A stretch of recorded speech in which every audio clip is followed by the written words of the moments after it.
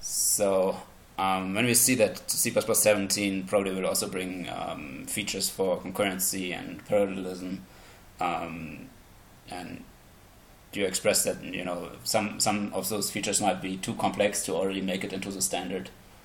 Right. Um, right now, the the concurrency group built up two TSs. Um, one is parallel, and the other one is concurrency. Parallel contains these um, STL algorithms, which have been now renamed to, to be able to be okay. run in sequential mode, parallel mode, or even vector mode, using this parameter that you can put inject in using called std_vect or std_par or std_seq. Yeah. Okay.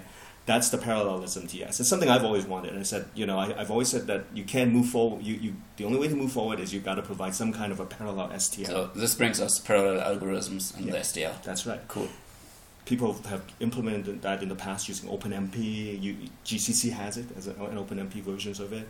Um, Microsoft has a used called Parallel Pattern Library. There's mm-hmm. a wealth of background experience. That part most likely will go in. The real question is where's the cutoff? Because we're still mm-hmm. injecting things into that parallelism yeah. TS. Other things that can go into that parallelism TS are going to be things um, um, like um, like fork join parallelism, OpenMP style parallelism. Yeah, I've, um, I've written last year yeah. my blog about resumable functions. Resumable, yeah, exactly. That's exactly. One big that, feature which hopefully will get into C++. Right, and that's one of the dicey ones.